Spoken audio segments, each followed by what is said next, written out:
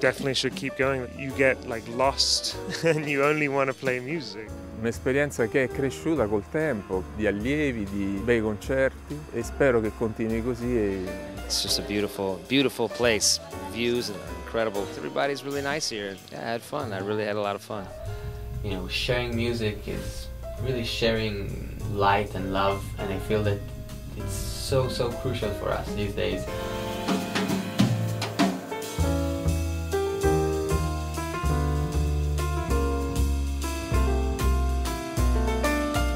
Lavorare sulla didattica e poi suonare e mettere in pratica quello di cui uno ha parlato.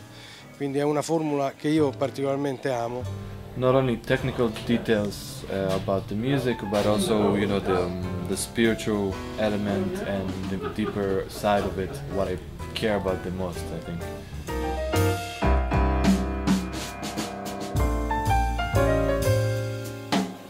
You know, five or six world-renowned jazz musicians there teaching is a really unique experience in Italy, and it's a rewarding one for us as teachers as well. The, the students from Italy and the people from New York get together, and something you know unique happens. I had the pleasure to experience that. We're very proud to be a part of such a great event that happens in Italy every year.